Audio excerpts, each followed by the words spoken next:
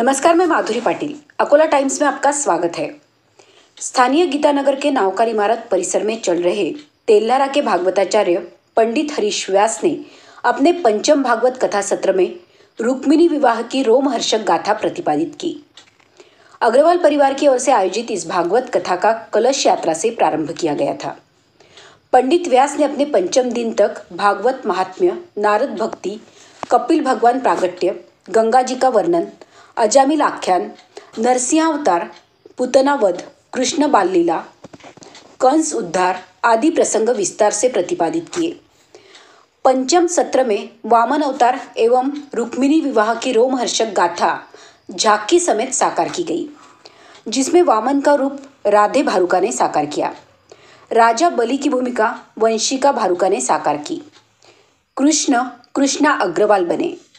निकिता ने रुक्मिणी की वेशभूषा साकार की, एवं सुधा गोयल ने कृष्ण बनकर जल्लोष निर्माण किया। सर्वप्रथम मुख्य यजमान पंडितलाल रामलाल अग्रवाल ने कथाकार पंडित व्यास का स्वागत किया।